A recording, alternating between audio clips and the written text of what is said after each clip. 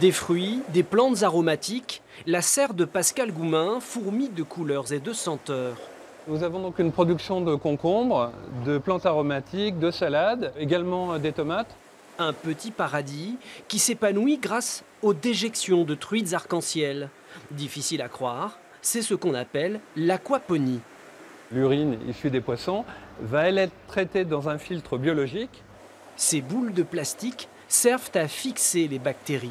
Ce sont ces bactéries qui vont opérer donc un travail de décomposition de l'ammoniac et des nitrites en nitrates, qui sont les éléments euh, nécessaires à l'alimentation des plantes. Des plantes qui, à leur tour, vont filtrer l'eau qui va retourner aux poissons.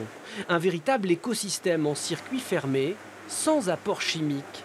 Cette serre, véritable ferme miniature, Pascal Goumin veut maintenant l'exporter dans tout le pays.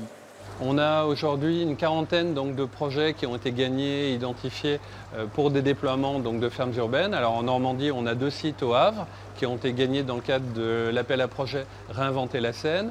D'autres projets suivront. À Cherbourg, ils permettront de développer l'élevage de saumon. Avant de plonger dans la rade, les juvéniles grandiront l'hiver dans des bassins. Là aussi, les déjections seront valorisées.